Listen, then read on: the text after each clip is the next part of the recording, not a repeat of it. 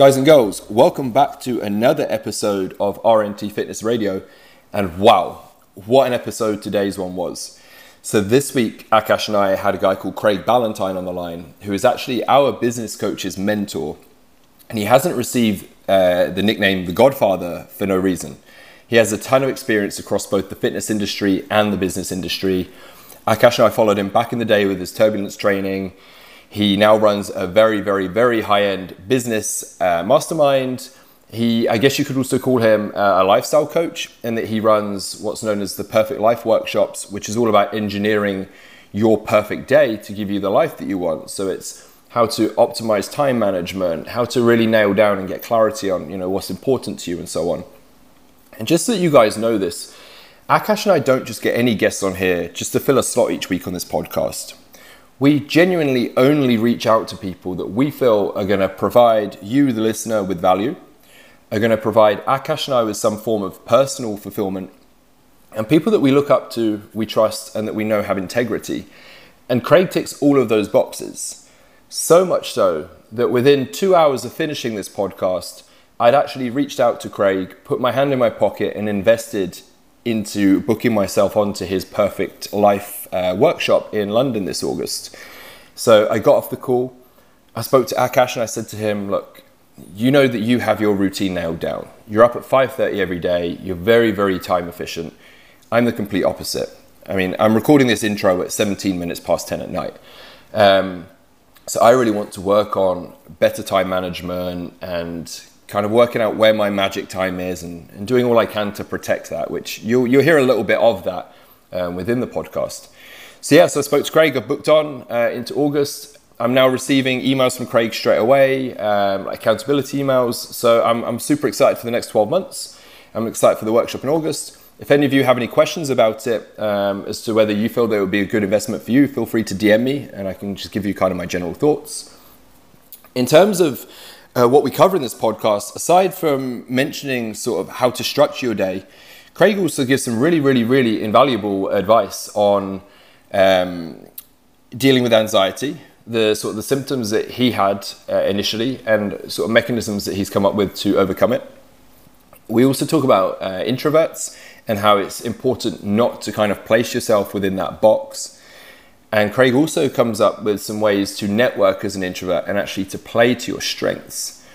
So there's a lot that we cover in this episode that's really going to help anybody, whether it's just trying to, you know, uh, organize your time management better so you can get your meal prep in, you can get your steps in, your cardio, your training around your busy lifestyle, your family life, and so on.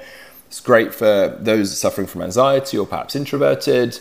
We discussed a little bit of training and sort of where, where Craig structures his training, what sort of training he's doing. So I think this is an all round great podcast. I'm going to stop rambling at this point and I'm going to let you guys enjoy it. So, um, so Craig, let's kick this off then by talking about the evolution of Craig Ballantyne. And by that, I mean, you, from what I know, you started as a PT, then transitioned yeah. into uh, online fitness training. And then now, obviously, you, you're a business coach and you help people with their businesses. So talk yeah. us through like each step of it how, why you've moved on to the next phase. Yeah. So when I started out, you know, when I was in uh, school, before I even got to college, I wanted to be a strength and conditioning coach in the National Hockey League of all things. So imagine, you know, I actually even I love uh, English Premier League soccer, so I actually thought like, you know, I want to be a strength coach in some sport. Hockey was first, soccer was second. So that was my my whole goal when I went to college in uh, 2000, when I was 25 years old, finish up, finishing up my master's degree in exercise physiology, I had already started an online email newsletter, and I sent one of them to the fitness editor of Men's Health magazine. And the next day, he replies back and goes, "Okay, we'll put this in the in the magazine." So everybody always asks me like, "Hey, how do I get started with the magazines?" I'm like the worst person to ask because that doesn't happen to anybody. It's like no. you know some model getting spotted in the food court of the mall. You know, it's like it's one in a million shot. So I got lucky. And then I realized I loved doing that. And I also realized that magazine editors, much like television producers, are overworked and underpaid. And so if you ever get a chance to work with any of these people, whether they're on, you know, online websites or magazines or television stations in any industry, you know, it doesn't have to just be fitness, but if some real estate agent is listening and or financial person is listening, you know what, if you get a chance, make sure you get back to them and help them meet their deadlines because they're on these crazy deadlines. And that's the thing that I did that allowed me to get more work with Men's Health magazine. So now it's going on 18 years of me writing for them and many, many other magazines. And it was all because I took that chance mm-hmm. back when I was a younger person. That led to me selling programs online while, as you mentioned, being a personal trainer, PT. And I always wanted to do the online stuff. So I worked really hard during the day with the PT, PT stuff, but every single spare moment I had, whether I was standing on the subway in Toronto, like I would literally stand on the subway with a BlackBerry and write articles like this, yeah. and uh, like you know packed in there like sardines, like you know people on the tube in London. Although I mm-hmm. will say the one thing I hate about the tube in London is that it's round and you can't stand up against the walls. Like you yeah, you to stoop down a little bit. Yeah, yeah. They have then that, I guess it wouldn't be called the tube then, you know. So you know, in, in Canada, in Toronto, we have these big rectangle things, lots more space. So I would write articles in there, and then I'd write them in between clients, and that allowed me to continue to grow my online business. And from there, finally, in 2005, I hired my first business coach and really went on to finally be able to step away full time from the training and do the online thing. So that's the fitness side of things. Is there anything you want to ask me before I keep on rambling on here? No, it's, it's quite interesting actually. No, keep going. Yeah, so the funny thing was at the same time, well, funny now, not funny then, but funny thing was in 2006 when I hired my first business coach, I had severe anxiety attacks at the same time. So I was going from being a personal trainer to full time online, and it gave me the paradox of freedom, is what I call it, where I had all the time in the world to work and all the time in the world to go out and go to the pubs and chase girls and all this stuff in the big city of Toronto. It's very much like New York City and London when you can go out any night of the week. You can find somebody to go. I ended up with these anxiety attacks because I worked too much and, and uh, drank too much and used too much caffeine the next day to kind of get back on track. And I actually went to the emergency room twice. And because of that, that led me to start structuring my day, structuring my day better, to have better wake up times, better end of day times, boundaries within my work, become more productive, crank the workout, but then have more time for recovery, self care, they call it these days, that sort of thing. And then that led to me coaching other entrepreneurs. I started coaching entrepreneurs in productivity and time management, but also in how to build a business. And so I had my first seminar in 2007, had 55 uh, fitness experts, many very famous names that you would hear today, including Vince Del Monte, uh, our friend. He was at that one in 2007. Um, he made some very bold claims at that one, and sure enough, he delivered on it because he's a, he's a very great student of mine. And then I started coaching people on the phone about structuring their days. Eventually, I bought another business called Early to Rise, which allowed me to go and help people build their wealth and improve their health and improve their personal relationships. And then I, I finally published my first uh, non-fitness book. I have several fitness books, but I published my first non-fitness book called The Perfect Day Formula in 2015, and that one has gone on to sell about 25,000 copies. And we have these Perfect Day Formula kits, which are you know include gratitude journal and scripting pads and all mm-hmm. these things to help you get more done. those have you know probably sold about 5,000 of those, and now I consult with CEOs of very large companies I coach entrepreneurs who are just starting, those who are going from 1 million to 20 million. And I just love coaching high performers, you know, some athletes, some Hollywood actors, but not in terms of training, but in terms of clarity, focus, getting more done, and achieving the, uh, the goals and dreams that they have. So that's the Craig Ballantyne story. Awesome. That is uh, it's quite an impressive one, isn't it? Yeah, it's a real evolution there, right? Yeah.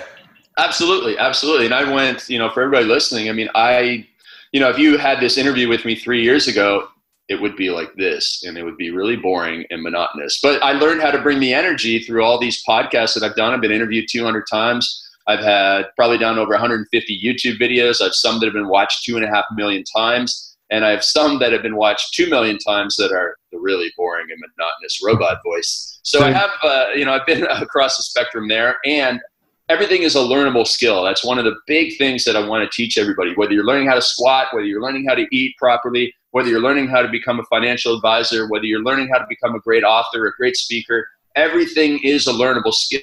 And I've even gone from having severe introverted tendencies to being, you know, relatively normal, I guess you would say, and, and extroversion and and outgoing and all that sort of stuff and being able to be a great listener. So I've improved a lot of areas. And so whenever somebody says, they're this or they're that. I say, don't put yourself in that box. Okay. Don't say that you're an introvert because now you're in the introvert box and you get to use all the excuses of the introvert from the introvert box. And it stops you from growing as a person and making that evolution. So I am really, really big on believing that you can improve every single day through so many means like self reflection and coaching and all these good things that you guys are well aware of and promote to your folks. Let's um, let's just talk about the introverted side of things quickly.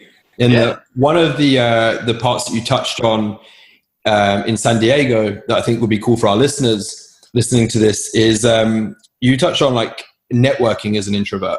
Yeah. Can so you give a bit of advice if somebody is listening to this and they, they're thinking, as you said, don't put yourself into a box, but naturally you're going to have some people listen to this thinking, I'm an introvert. Uh, you know, I struggled, you know, to network. I, how would you go about? Improving? Well, that's what I did when I first started off. When I believed I was in that introverted box, and so there's a couple of points. The first thing is that you can use the the pros of being an introvert, which is where you do you know you analyze things more, you plan and prepare more than the extrovert. You come about it more methodical, and you can use that to your benefit. So several of the things that I did were first of all, I I really leveraged my critical credibility. Now, an extrovert in your mind, you think would go to a party and just walk up to somebody and start talking to them. Now, an introvert kind of is like, how do I go into this conversation? What do I say? If you can think of a way that you can bring credibility, like maybe, you know, for me, it was easy because I was writing for Men's Health Magazine. But even if you have an introduction from somebody, you can say, hey, when you introduce me to that over there, I'd like to talk to them, I'd like to get to know them. Um, can you introduce me this way? Well, now you have some critical credibility. You've been referred by somebody else and you've been set up and it makes it easier. That's what, as an introvert, I was always looking for something to get the ball rolling. I could go, you know, I could be at stage five in a conversation with somebody, but getting stages one through three were a nightmare for me. It was like, how do I get there? You know, how do I how do I get to a point where everybody's at ease? Where most extroverts, because of the energy they they feed off of, you know, they don't mind if you you stay at point zero for a while, rambling about small talk until you find something. But the introverts, like, this conversation is going to be so weird unless we connect on something. So, yeah. so you know, that was that was one of the things. But I also did a lot of networking through email, which again plays to the introvert's strengths, where you could come to somebody and you could properly articulate what you wanted to say, even though it's hard to come out of your mouth, it's really easy to write for most introverts. And, and so that was another thing that I did, especially back when email was just getting started and it was easy to get a hold of somebody. Now what I would recommend you do is use Instagram direct messaging or, you know, if you're, if you're making a cold introduction of yourself. I'd also recommend getting introductions via text from somebody or email from somebody, very much like I used in that party example. So by doing that, by coming in with some credibility, with some position of strength, with some introduction where you can get the ball rolling and kind of naturally get into conversation, it's easy for you to do that. Now, at the same time, I also want to challenge somebody so that you use or you get outside of your comfort zone. So Instagram direct message video is a really, really great place for an introvert to start overcoming their introverted tendencies. You can make those little 15 second clips. You have to get to the point quickly. You can redo it a couple times if you don't like what you say. And then that's a great way for you to start to get comfortable talking because you know you're just talking to your phone, so it's really really great. No one you can't feel any judgment from other people. So that's what I recommend there. Um, and then, geez, what else was there? I know there was something else that was really important. Oh yeah, I want to go back to uh, this guy Keith Ferrazzi has a great book called Never Eat Alone. Mm. There's two things in that book that really stuck out with me. One was timing your connections with people. So if you're emailing somebody or sending them a direct message on Instagram, if you time it so it's right before they start their day or right at the end of their day, he believes you have a greater chance of getting connected with people. And I've used that with some success before in the past with email, now with the Instagram direct messaging. And then finally, the other thing that he says in that book is ease their pain and help their kids. If you want to connect with somebody, if you want to make an impression on somebody, if you can ease any pain in their life, and it doesn't matter if somebody's a, you know, if you meet Richard Branson and he's got back pain and you can help him with his back pain, you don't have to be a billionaire to make a connection with Richard Branson. You've just eased his pain. So you just want to find a way that you can add value to somebody's life. Now, I don't recommend like rooting through somebody's trash in order to find a way to, uh, you know, ease their pain, like, you know, reading you know, seeing like, oh, this guy eats a lot of pizza, so I should, uh, you know, help him with his diet. You know, that's not a great, great way to do it. But if you can have some type of, oh, this is public knowledge. I know how I can help them. Get an introduction, put you in a position of strength. Now you can ease their pain. Or same with helping their kids. You know, you know somebody who's who uh, you know like maybe people have kids who are listening to this. There's somebody who's influential who whose kids go to the same school as your kids. You want to get connected to that person you know what, if you can help their kids out, maybe give them a book, share a book with them, that would be helpful. So, you know, one example that Bedros Keuilian, one of my really good friends, did, he bought a whole bunch of copies of a children's book by a famous person and gave the, the copy of the children's book to all of the kids at Bedros's kids' school. Now he put that on Instagram. The next thing you know, he's really good friends with a person who had a massive following on Instagram, and it's paid into great benefits for Bedros. So just thinking about that. That's the introverted approach to networking. And I know it went on for a long time, but I know there's something in there that everybody can use. Oh, d- definitely. Let's do uh, one more sort of psychology side of things, and then let's move on to like the perfect day. And yeah. So you also touched on anxiety. So we've covered, uh, you know, introverts, and then also anxiety that nowadays, you know, with being connected all the time, I think uh, a lot, a lot of people can probably empathize with. So can you talk us through sort of how the anxiety started with you, and then what what sort of solutions you came up with to help get over it? Yeah, it started with seven. get over it, but but deal with it, you know, because it's probably going to be an underlying thing, I'd imagine. Yeah, it started with seven Red Bulls in one night, which is not a good idea. So, uh, just if anybody out there is drinking seven Red Bulls in a night, don't do it. So that that was like the tipping point for me. But it was it was being exhausted it was overworking, it was over uh, playing, and but also I was really wound up, uh, straight laced, tight, like tight laced up. Um, imagine like a, a, soccer ball, or if any American listeners, like an actual football, like just blown up and blown up, and you stop and you don't stop putting air in it. That was me, right? Because I didn't talk things out. As an introvert, I held everything in. Um, and also as a type A person, I was really wound up and my wheels were always spinning in my head. So that ball was just getting inflated, inflated, inflated, and all of a sudden, boom, you add seven Red Bulls to it and it bursts. And that's what happened to me. And I ended up feeling like I was having a heart attack. And here I am, 29 years old, right? A personal trainer, a guy who writes for Men's Health Magazine. Six days a week, I'm living the, the right life. And then one day of the week, I'm in the pub from 4 p.m. till, and then in the club till 4 a.m and you know that's bad news and it out and it all caught up with me.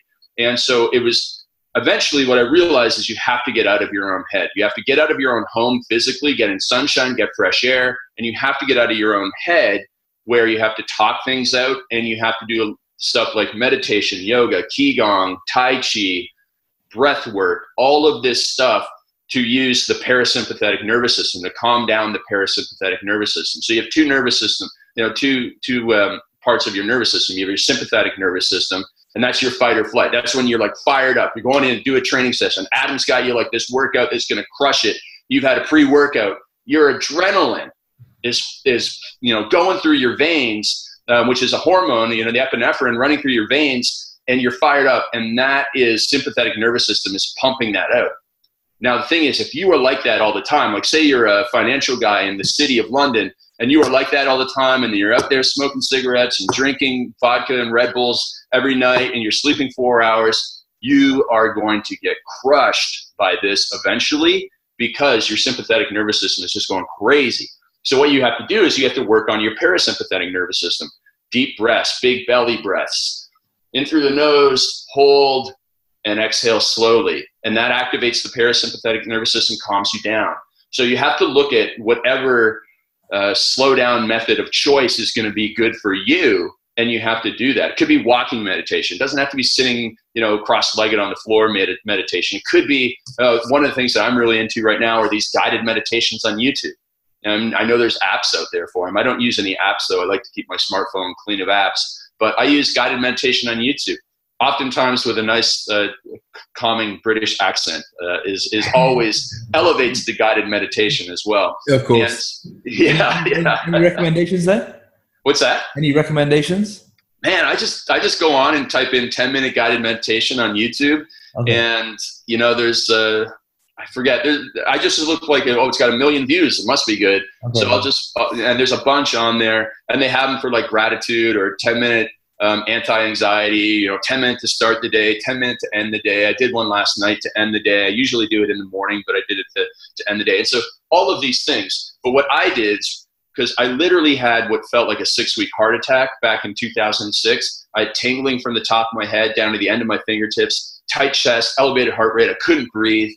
And this went on literally, and I don't mean like literally the way like young people use the word literally about everything. I mean, this literally went on for six weeks straight, 24 hours a day. I could sleep from about 11.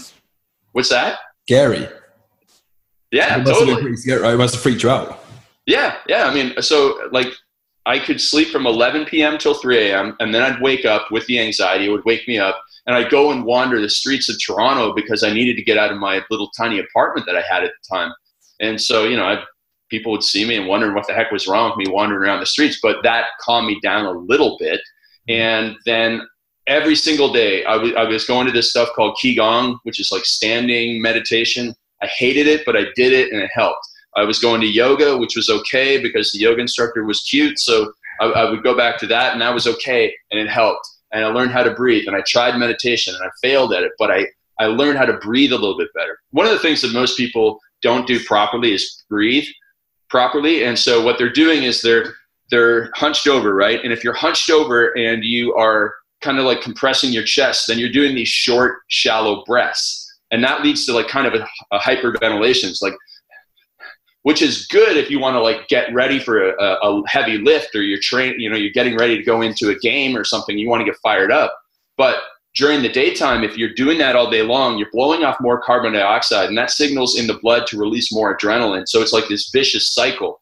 And so I was doing that, maybe because I was wound up, maybe because of the caffeine, maybe because of the poor posture I had, and I had to switch to that. I had to sit upright. I had to do those slow belly breaths activate the parasympathetic nervous system. So over those six weeks, I tried everything. I turned over every rock, but eventually, at the end, near the end of that six weeks, I went to the emergency room for the second time, and they did some chest X-rays on me. They gave me a heart rate monitor. They said, "Bring it back in 24 hours, and then we'll call you the next day if there's anything wrong." And when they didn't call me, that was a huge, huge game changer. I was like, "Okay, there's nothing physically wrong with me, so it's all up here." And knowing that, I felt a whole lot better. And then I bought a book by an Irishman named Barry McDonagh. The book was called Panic Away. And I got to the second chapter, and the first five words in the second chapter say, There's nothing wrong with you. And as soon as I read them, it was like the weight of the world lifted off my shoulders. I didn't even read any of the rest of the book or any of the bonuses that came along with it, but it changed, it changed me. And I've been able to fight off for about the next year, every couple of months, anxiety would kind of creep in on me and I had to like really slow down the breathing. I had to, you know, stop. It'd be weird. Like I'd go to my chiropractor and we'd be talking about some lawsuit where a chiropractor like hurt a patient, and I would leave and I'd be like, oh my goodness, like my neck feels weird. Like you know, maybe maybe I'm going to be paralyzed more. Like it'd be really weird stuff like that. And the next thing you know, for three days, I'd be on the verge of an anxiety attack. But I fought it off with all that breathing that I knew about and you know just making sure that I didn't do anything stupid that weekend.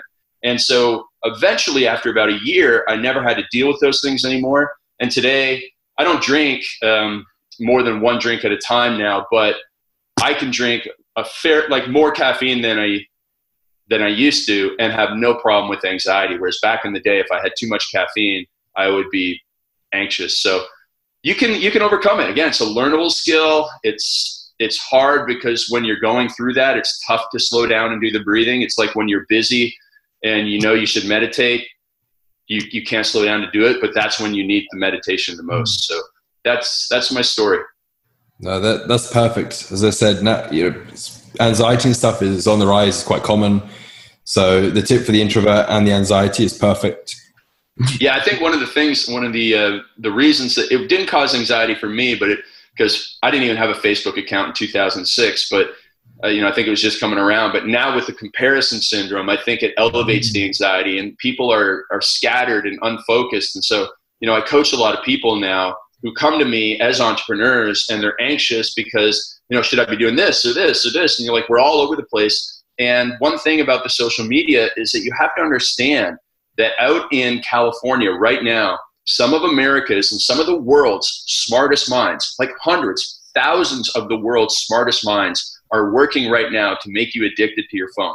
That's their job. Just like 20, 30 years ago, the food scientists in America, their job was to make you addicted to uh, crisps and chips and all the, the stuff that has caused so many problems. And now smartest minds are focused on addicting you to the phone and causing you anxiety and causing you to be all messed up. So realize it's not your fault because the world is conspiring against you, and now we need to come up with strategies to overcome that. And uh, what strategies do you have for people who are addicted to their phones, who's which is nearly everyone? Yeah. yeah. So basically, it's I, I I use the analogy of like building a fence around yourself. So imagine you like in a big grass field, and all the enemies are outside of you, and you want to build this big wall that stops them from getting in there.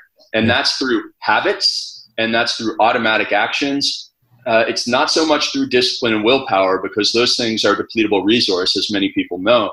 But if you can build rituals and routines where your nervous system is like automatically doing things, then you can overcome this. And so I'll just give you a little story about how powerful rituals and routines are. When I grew up, you know, as a teenager, as a, you know, as a child, every night I would go in my father's bedroom and he would have candy. He would have uh, potato chips or crisps. He'd have candy bars, chocolate bars. He'd have everything. It was like a convenience store in his room. And I would go in there, I'd watch TV with him, and we'd eat candy. Now, you know, that's 20 years of doing that. And then I went off to college. And then he, he passed away when I was about 30 years old, just uh, 32 years old. And I would go back to see my mother on the weekends and help her like sort out the affairs after he passed away, you know, the paperwork and stuff. And every single time I went up the stairs into my old bedroom, I went to his bedroom first to look for candy. And that went on for three to six months after. Automatically, I'd go up the stairs and I'd turn right because my nervous system was ingrained with an automatic action. So, if right now you're struggling with your smartphone, it's because your nervous system is ingrained with an automatic action, much like you know you guys teach perfect technique in an exercise. Over time over time over time you build up perfect technique where you don't have to think about it. And with our smartphones right now as we've built up this i wake up i turn on smartphone i start scrolling and if that is your nervous system right now then you have to work to overcome it and so you do have to put in these systems in place like right now i have four steps that I protect myself with with my smartphone. So I keep my smartphone in another room while I'm working. I keep my smartphone in a drawer in the other room. I keep my smartphone turned off in the other room, and I keep my smartphone in airplane mode, turned off in a drawer in the other room. And there are days where I will get all the way to turning it into airplane mode, and then I'll slap my hand, put it back in the drawer, and go back into the room and finish my work. So it's stuff like that. It's going to those extremes to protect yourself using stuff like selfcontrol.io, an app that stops you from using. I said I said in that last week actually. It's a really good one. Yeah. Yeah, yeah selfcontrol.io, uh, freedom.io. You know, there's a whole bunch of these things that just stop you from using certain websites or even the internet for a certain amount of time. And listen, these are things that, you know what? We need these. We need mm-hmm. these extremes in order to overcome our nervous system's tendencies. And eventually you get to the point where it's like, oh, now I don't check my phone. I don't even think about my phone. There are days where I'll go with, I'll go like six hours ago. Oh, I should probably go and check my phone for important calls because it's been gone away from me so much. So wow. that is the key. All right. That's quite uh, liberating for you then, right? Yeah, totally. Totally. And, and it really is a big change.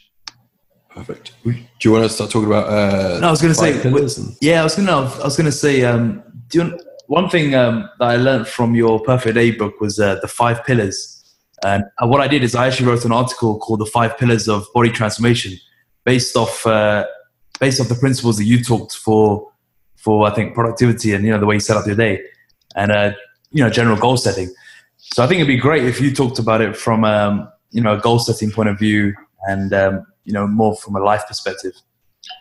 Yeah one of the things that most people do is they set way too many goals. So they have you know and i used to do this too all the time back in my anxiety days. I'd set like two pages of goals, uh, you know, every New Year's, and then you know I, I would accomplish some of them, but I'd be so upset that I didn't accomplish most of them that I'd be disappointed in myself. And that's a shotgun scattered approach to life. You need to be laser focused. And so one of my mentors taught me, hey, Craig, you're only going to set four goals for your every year. One for your um, wealth, one for your health, one for your social self, and one for your personal enrichment, which is like self development.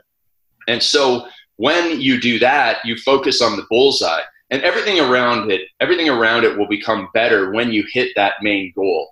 So that's the first thing to do. And it's very much like when you're scheduling your day. A lot of people end up very frustrated at the end of their day because they had 10 things on their to do list and they only got through three and they think the day was a failure. But it wasn't. They just overestimated what they could do. So you have to be very realistic. You have to be tight with your time, but you also have to be very realistic about what you're going to do.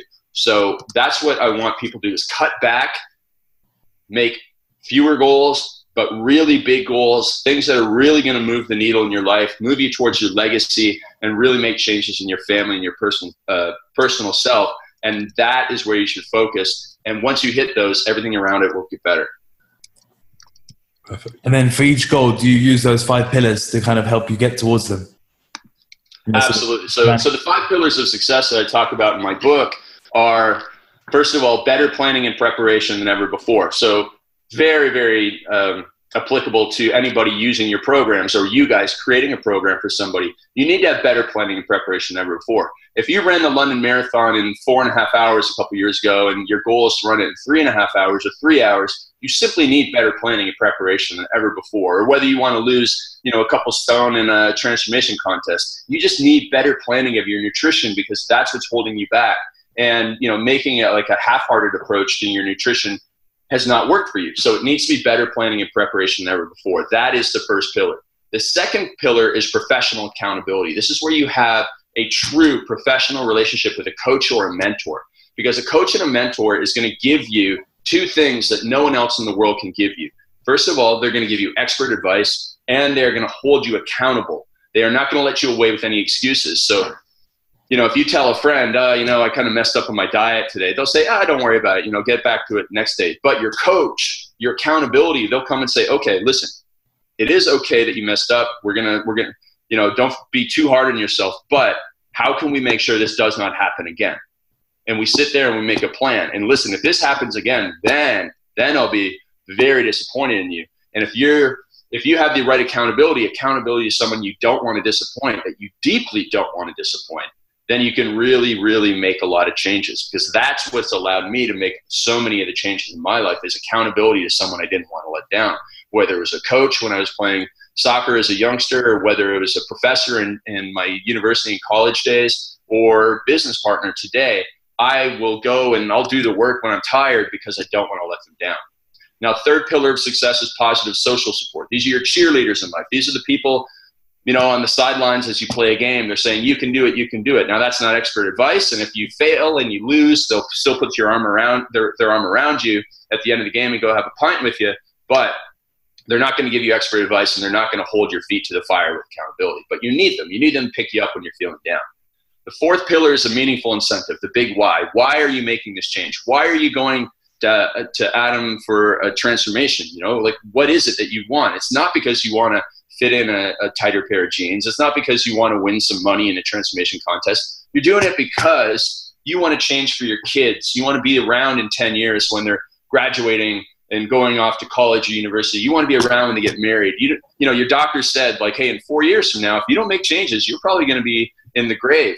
And so that's a meaningful incentive to make you go and change. And then finally, the fifth pillar is a big deadline. So test, a transformation contest, a 12 week program, an eight week program, six weeks until our, you know, the season starts or whatever it is, that spurs us to action. It keeps us going through tough times. And finally, it makes us go even faster as we get closer to the finish line. So that's what you need to have in place. Better planning and preparation ever before, professional accountability, positive social support, a meaningful incentive, and a big deadline. And you can use this for anything. It's not just about physical training. You can use it to find the love of your life. You can use it to find the home of your dreams. You can use it to become a better speaker, better coach, anything you want. Write a book, whatever. You can use that. I love it.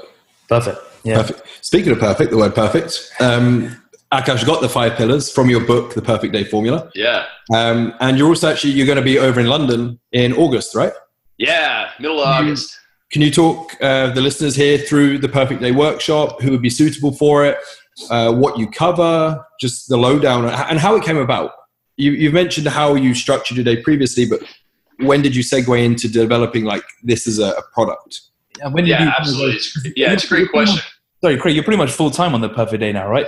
Yeah, yeah, almost. Um, doing some uh, some other courses and stuff, but really most of my time, most of my energy goes into working with high performers, executives, entrepreneurs, et cetera. As I mentioned earlier at the start of this, helping them build their businesses, but also build their perfect life as well, so that they don't have that anxiety, they have less stress and more success. And so everyone has like their own, you know, customized result from the day. Some people might be, hey, I really need you to help me build uh, the revenue in my business and, and we'll focus on that. Other people are like, you know, business is going good, but I need to be better manager for my team and I also need to be better at home. And we'll figure out what, what is necessary for them. But essentially, each one of these workshops came out of the perfect day formula. So the, the book became this kit full of tools and material.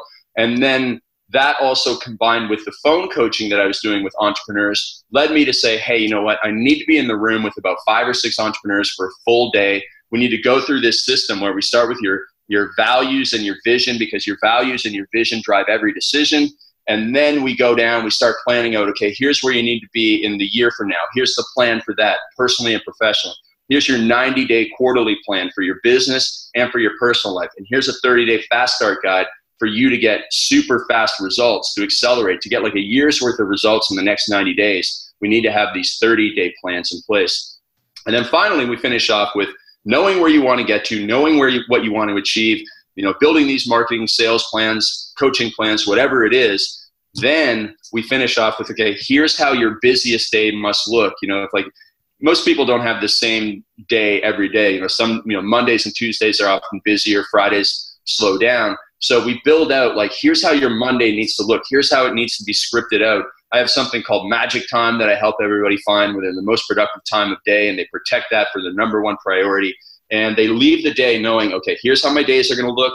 Here's the 90 day plan I have for success, and I'm going to follow that. And then I coach them in follow up through email coaching to hold them accountable to it. I'm the professional accountability to make them take action on it. And so, you know, like I said, there's only five people in the room because it's it's as close to one-on-one coaching as I can get while still impacting a lot of people and having that amazing mastermind feeling in the room where people are sharing uh, ideas with one another because oftentimes there'll be somebody you know who has like a, a 10 year old kid in the room with somebody who has a five year old kid and that person with the 10 year old kid can give advice on how to run a business while raising great children. So there's lots of across the table advice too. And so we just bring in amazing people from all walks of life and at the end of the day everyone leaves knowing exactly what they need to do. It's a customized blueprint and it just I'm just so fired up by it because I give people the clarity and boundary they need to really have success in life. With in regards to uh, magic time, how do you help uh, people find that? So I do something like kind of uh, called a time journal. So imagine using a diet journal, right? Like you know, someone comes to you, they're overweight, and they've never really thought about what they eat before.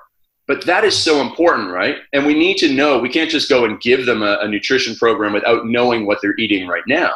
And so what I'll do is I will have them very much like a nutrition journal, write down everything that they're doing over the course of the day, but not only what they're doing uh, in half an hour increments, but how they feel.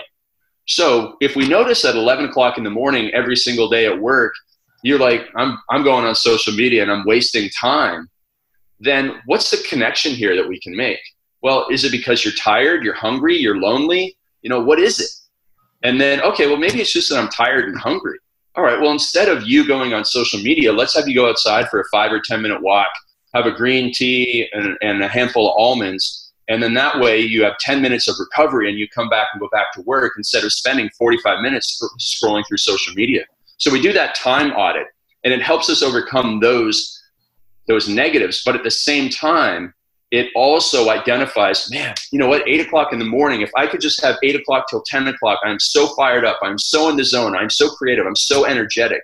I just need those two hours. Or maybe it's two till four, or maybe it's seven till nine at night, or maybe like me, it's really early in the morning, like five until seven. And then once you've found those hours, those hours will actually that's when you're able to get three times as much work done at any other time of the day. So as a writer, if I can write between five and six o'clock in the morning, I can write about a thousand to fifteen hundred words. But if you tried to have me do that at two o'clock in the afternoon, it would take me three hours. I just mm-hmm. I'd be distracted. I just wouldn't be productive. I wouldn't know what to write about. I wouldn't be creative. So that's magic time. That's how you find it, and and that's what it does for you. And then once you know it, you have to ruthlessly protect it and foster it. Keep you know appointments and calls and all that stuff outside of that zone so that you are able to, to move ahead faster. Yeah. You've you've worked yours out haven't you? Yeah i'm similar to you. I'm, I'm an early guy. Uh, my magic times tend to be between six and 8 mm-hmm. six and nine. I, those those two three hours in the morning i can get so much work done. And then after that i just kind of do the you know the emails and right and these I try, things I try and schedule the calls in the afternoon. And then after about six o'clock, I'm not productive at all. I just end up, that's when all my willpower's gone and I'm just, you know, I can't do anything. Um, yeah, you and I are very similar. And, and I know that you're very, very dialed in with everything. And it's, it's just managing your energy flow, you know, knowing what's right for your circadian rhythm, but also based around the schedule that you must keep and that you want to keep. And so you know, I, I've just worked with so many people that I can figure out like, here's a hack, here's a 30 minute window in your day, or here's a change that you can make in your schedule that will allow you to like all of a sudden have this time, whether you want to write a book or whether you want to become better at sales or speaking or whatever it is, you can find this and you can fine tune it so that you become that high performer in whatever you want to do. And Craig, for people who are, who find their magic time at night or you know later in the day, how do you structure like the early parts of their day? Oh, that is a great question. he's so referring to me here, by the way. Yeah. I'll, be, I'll be emailing at like 11 p.m., half 11 at night. and Yeah, yeah. Well, one of my best friends, Joel Marion, who's very successful, I mean, he built a $100 million supplement company. He would use my formula, but he would totally use it in a different chronological schedule. So he actually ran his business from about 9 p.m. till 4 in the morning. And it's funny, like sometimes I would stay at his big house in Florida uh, to get out of the Canadian winters up here, and I'd go down there and I would start the day. I would go into the the big office he had at four in the morning, and he'd be like, "Oh, I guess it's time for me to go to bed." And we'd like say hi to each other because neither of us wanted to talk to each other at that time of the day. And then we'd see each other later on, but it'd be like two ships passing in the night there. Um, and so basically, it's the same thing. It's protecting your time because it's not really about the hour you get up. It's yeah. about what you do with the hours that you are up. And so, you know, he would get up. He would do. He would basically do, do the reverse. He would get up, focus on family first he would do exercise in the afternoon. He'd be a, do a little bit of busy work in the afternoon. Then he'd have family dinner. You know, he'd give the kids a bath, and then he would go to work. Now the thing is, most people don't have the discipline to do that because you know they, they, we all have great intentions. Like, oh, you know, when everybody goes to bed tonight, I'm going to go and write that book chapter. I'm going to write these emails. You know, Adam, if you can do it, great. But most people like, oh, there's Netflix. There's that bottle of wine that needs to be finished. You know, there's this. There's you know, the spouse wants me to go to bed with them and the next thing you know, they, they're like, oh, you know what? I haven't gotten around to doing that thing. So I actually believe it takes more discipline to be a, a night owl than it does to get up early, do the work, and then get on with your day. And the, and the thing is, is that the world's built to reward early people because unless you're an entrepreneur, when you can set your own schedule, like if you have to have client calls from nine until five or meetings and all that stuff, then listen, you're not going to get it done at night because you want to socialize and relax. So you have to get it done in the morning. So that's why we're so focused on that. Yeah, it's, it's funny because um, I'd love to be able to, to dial it in in the mornings and get it over and done with, but I seem to just sort of wake up and I, I just struggle to, to get into that work mindset. So for me, what I found is I come up with like what I need to do, and then I just tick off the. E- I kind of do it the opposite way of what you should do, I guess. I tick off the easy stuff throughout the day, my client check-ins, and then I just leave the stuff that I have to do, and I know there's a deadline. Like before I go to bed, it has to be done. Yeah, yeah, that is, that is the power of the deadline that you have within your day, and it's really neat that you bring that up because if you can work it that way, and you know it doesn't interfere with social life and all that stuff, then by all means go for it. But if you wanted to switch it up, if you wanted to fix that, you know what the key is? Mm-hmm. What's that? It's it is preparation the night before. The more and more that I work with people, the more and more that I read about high performing athletes is that it's not about the performance, you know, on stage or in the game. It's about all the work done, all the preparation done up for the performance. And so as I work with entrepreneurs, uh, very similar to you, there's a lot of people with online coaching businesses here in North America. And what they used to do was they used to get up and do the client check ins and then try and work on something later on during the day. Now, these are people that are keeping an early bird schedule. Now we had to switch it up. The client check ins have to get done. So they'll get done before the deadline of the end of the workday, much like your other stuff will get done late at night because you have that deadline of going to bed. But they switched it around. So I wake, I do the preparation the night before. I plan out what I want to focus on, you know, doing a new video or new content or whatever it is that works on the business. Mm-hmm. And they do that first thing in the morning because they're very well prepared the night before. And so maybe if you had amazing highest level of preparation the night before, then you get up and it's easier for you to transition into that work. And then you use the power of the deadline to get the client check ins done because you know they have to get done. And so that's the deadline that they use. So for me as a writer, I make sure that I outline what I'm going to write the night before and then the words flow out of me the next day. So it's all about preparing the night before in order to have a high performance morning. So the three steps would be prepare the night before, In the morning, work on the business, and then throughout the day before the deadline, work in the business. Yeah, exactly. And so with um, with the preparation the night before, there's actually three steps, and the three steps go like this. First of all, you do a brain dump, and a brain dump is where you take out a piece of paper and you write down all the things that you have to do tomorrow morning. So it might be you're doing this at five o'clock, you know, at the end of the workday. You might do it at seven o'clock after dinner, or you might do it at nine o'clock, maybe an hour before you go to bed and you just write down, oh, you know, I got to call all these people, I got to, you know, create these videos, I got to, you know, do the client check-ins, I got to run these errands, and I want to, you know, catch up with this friend. Well, that's a lot of things to do. Okay, that's step one. Now it's all out on the paper. Next step is we organize it into a priority to-do list, trying to keep it to a minimum, a minimum of major tasks. So, okay, okay, I absolutely have to create this video. There's a deadline for it. That's my number one priority. Number two is I have to write the book chapter, and number three is I have to um, you know, contact this person. If I get those three thing, three things done, that's an amazing day. Everything else, if I can get to it, good. Then, now that you have that to-do list done, and the to-do list must be done the night before. If you're doing your to-do list the morning of, you're already too late because it's sucking up that really valuable morning time. And now the last thing that you do is, okay, if I have to write that book chapter, I have to film that video. How can I make it as easy as possible for me to get into that in the morning? Well, I can you know do a couple bullet points here. I can script out the video. I can put the video equipment out on the table so it's right there, and I don't have to worry about setup in the morning.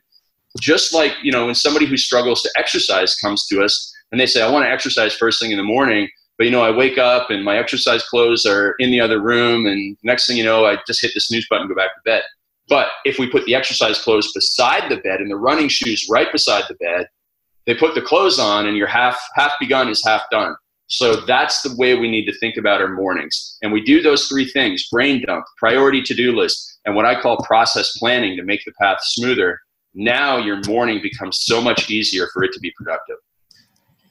Perfect. Oh interest great. Do you eat breakfast or do you wait? Um, i'm usually up about three to four hours before i eat breakfast. And you just do you write before that right? Yeah so i get up um, I get up at four o'clock in the morning and I go right to work. I know a lot of people go right to meditation or journaling or gratitude or whatever, but I, I grew up on a farm, and when you're on a, when you're a farm boy, you get up and you go and you you feed the animals first thing. You go right to work. So I have that ingrained in me.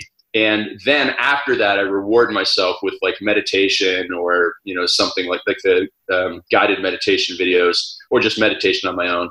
Then I walk my dog and by then and do a little bit i do my daily morning social media video but i go in post the video and get off social media. And by then it's about 7.30 8 o'clock in the morning and i i will have uh, breakfast then. And what time do you train? Uh, i'm going to train right after this so basically about 11.30 in the morning Yeah. which is right before lunch and then at lunchtime i'll i'll uh, after lunch i'll start doing some email stuff. Same routine as me. Yeah you yeah, I made an got, like, for you guys. Though. I want I want to be known. I made an exception for you guys because I rarely do a podcast in the morning. But uh, Okay, yeah. you know, it was, a, it was a great honor to be on with uh, the boys from from across the pond. So you guys are getting some morning time from me. awesome it's an honor to have you on hmm let's um let's finish on one question before we do like some rapid fire stuff Yeah. So, if you could go back to your mid to late twenties, so the, the age Akash and I are at, what would you do differently? Oh, hire coach, absolutely. So I was cheap, I said, stubborn, this to you, know it didn't all. I? I said that would be the number one. I said to Akash, I said, I bet it'll be to hire a coach. Oh, absolutely. I didn't hire a coach till I was almost 30 years old. And as soon as I did, my results went through the roof. So, you know, this applies to training, this applies to business, this applies to everything. If you want to get better at something, why go and try and figure it out by reading a thousand books and going to a thousand courses when you can just go to somebody who's already done it and who's helped a hundred or a thousand other people do it? It shortcuts your results by years. And so that is the thing that I wish I would have set aside my ego, stop being a know-it-all, you know, stop being a stupid, um, cheap. I'm, I'm half Scottish and half German, so you know I'm, a, I'm you know I've got that working against me. And Well, I got an Indian with me, so uh, cheap and efficient, you know. So, so uh, I, that was the mistake that I made. And as soon as I did it, results went through the roof. Awesome. So uh, for for potential clients listening to this, uh, that was a a nice little plug for us. So, so yeah, take heed. Um, okay, rapid fire. If you were going through a really tough diet, say you've got holiday booked, uh, you want to get in shape, you go through a really tough diet, what would be your go-to cheat meal or free Uh, pizza, pizza for sure. pizza? Yeah, are we But just talking like, like? a plain cheese pizza, and then I would have extra uh, tomato sauce for dipping. Sounds good. Favorite city that you've traveled to? Yeah, that's tough. Um, Uh, I would definitely say country is country is Italy. Uh, city. Oh, that is tough. I will say I would just say Rome. Rome. Okay, perfect. That was that was a personal one for me because I'm looking at getting a little city break in. So uh, Oh, okay. and I haven't been to Rome, so that works perfectly. Um, and the last one, who should we get on our podcast next?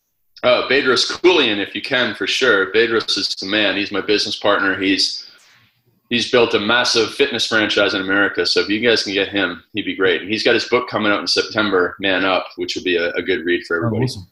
One of the uh, questions that we'd we'd had on here actually was if we'd had time, which now this is just kind of open up quickly if you don't mind to just segue into it. And again, this is just a personal thing. How did uh, you and Bedros start working together? We started sending each other books in the mail. Uh, so he was, I was on his email list, and I think he was on mine, and we saw each other was were doing back in 2009. And then I think I sent him a book first, and that's what I do. I send a lot of books out. I probably spend like 200 bucks on Amazon every week, so keeping them in business among other people. And I just send books out almost like thank you cards with a little note in it. And he sent one back, and then I sent one to him, and then I went and did one of his coaching programs. And he and I, he said, you know what, we should start an online mastermind group, much like the one that you attended with Vince. Uh, you know, I had one of my own before that, but we teamed up and we started one in 2009, and we've been running coaching groups since then. So getting close to 10 years now. Oh wow, Awesome. Okay. Yeah. Great. Um, anything that you want to? No, that's been perfect. It's been really insightful, and I think a lot, I think our listeners are going to gain a lot from this. Yeah, Yeah. I, I love I love doing these things. So thanks so much, guys. No problem. Let's uh, let's just finish up, Craig, with um, number one. Obviously, the, the most important thing is where can people find you, and then number two, we've already sort of briefly touched on the seminars that you've got in August. But can you just give some more details, dates, how they can book on?